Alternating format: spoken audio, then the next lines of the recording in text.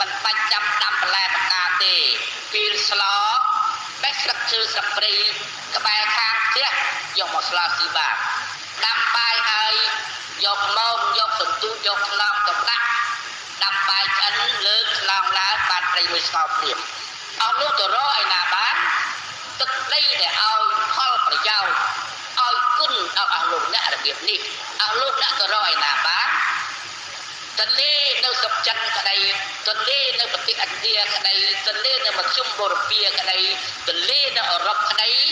គេមិនអាចនឹងទៅចាប់ត្រីបានដូចយើងដូច្នេះទេស្រុកឥណ្ឌាស្រុកព្រះអស់លោកអ្នកសិក្សាក៏គង់តែបានដឹងហើយ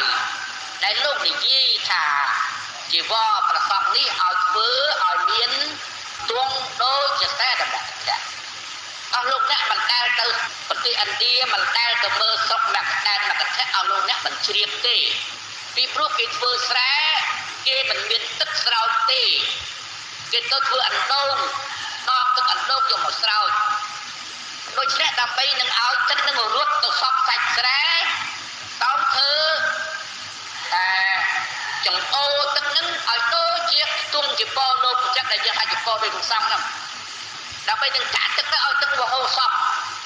ហើយត្រូវឈរដល់ទឹកនឹងមួយថ្ងៃមួយល្ងាច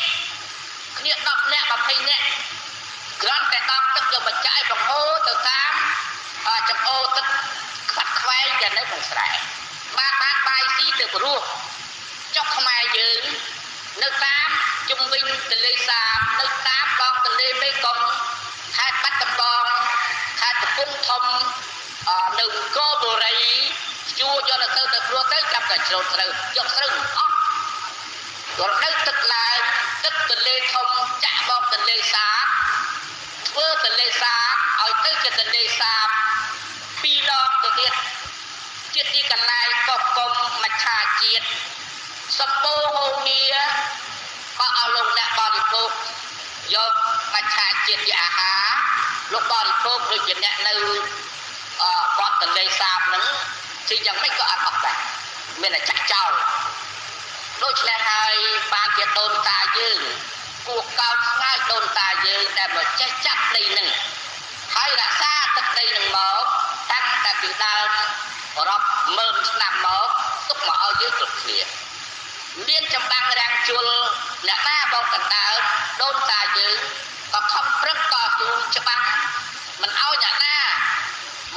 មកដណ្ដើមយកទឹកដីនេះបានទេទុករហូតដល់មកយើងទឹកថ្ងៃនេះគាត់ចេះស្លាប់ដើម្បីប្រទេសជាតិដូចជាយើងក្នុងបច្ចុប្បន្នកាលនេះដែរ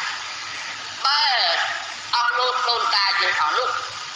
គាត់គ្រាន់តែចេះកសាងហើយគាត់មិនចេះការពារក៏ទឹកដីនេះមិនអាចនឹងដល់មកយើងដែរពីព្រោះអ្នកណាក៏គេត្រូវការចាំបាច់តែយើងនឹងដែររហូតដល់មកថ្ងៃអ្នកដែលបោកក្រោយយើង យួនក្តីសៀមក្តី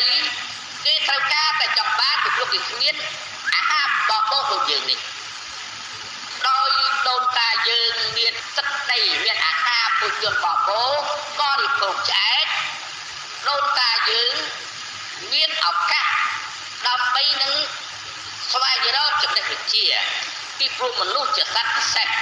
មិនព្រមធ្វើខ្លួនឲ្យនៅរងន់ខ្លាំងទេ តែកាលណាយើងមានបាយស៊ីយើងមានផ្ទះនៅយើងមានឆ្នាំសម្រាប់កែរោគបបោហើយមនុស្សមិនព្រមមិនឲ្យខ្លួនឲ្យរងន់ខ្លាំងទេព្រោះមនុស្សដឹងថា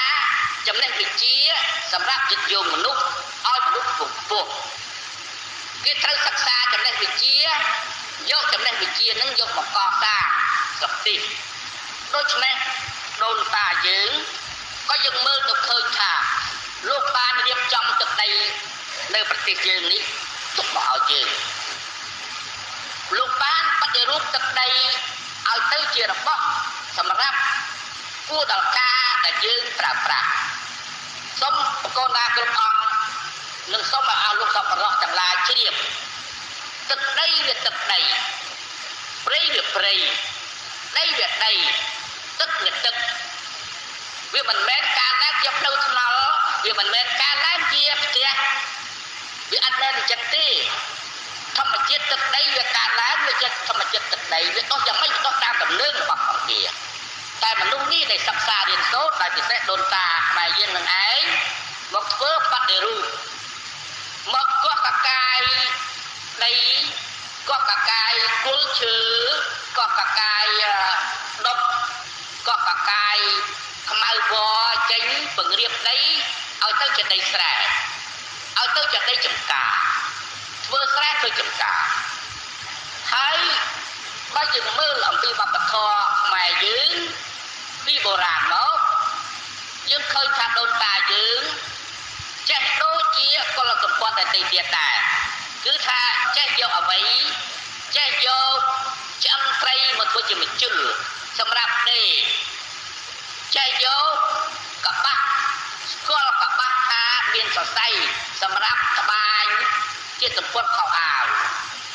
សរសៃគោយកមកត្បាញជាសម្ពុតខោអាវចេះដឹងថាយកដង្កូវនាង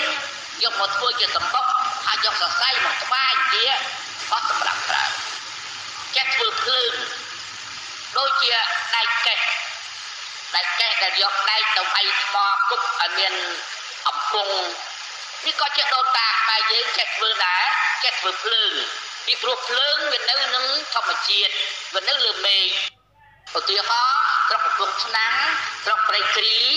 យកមកធ្វើជាចានជាឆ្នាំងយើងចេះយកដែកយើងចេះយកស្ពាន់យើងចេះរហូតដល់ទៅយកមៀតយកពេជ្រយកលិលយកគុជ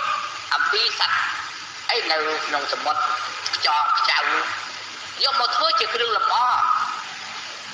នៅអង្គរមានគុជតែខ្វាយជាពុទ្ធបូជារាប់សែនគ្រាប់តែខ្មែរយើងឥឡូវនេះចេះធ្វើគុជប្រើទេ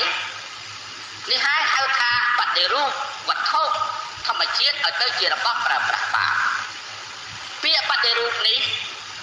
លោកបកូនណាគ្រប់អង្គក៏ធ្លាប់ប្រើពាក្យបដិរូបនឹងដែរតែកាលណាបើមាននាគបបោះឲ្យស្លៀកពាក់រួចសពគ្រប់ហើយជាភេទសាមណែរឬជាភេទវិខុសួរថាបដិរូបបាំងសំគួរហើយទៅនៅថាសំគួរហើយពីព្រោះផ្លាស់ប្ដូរពី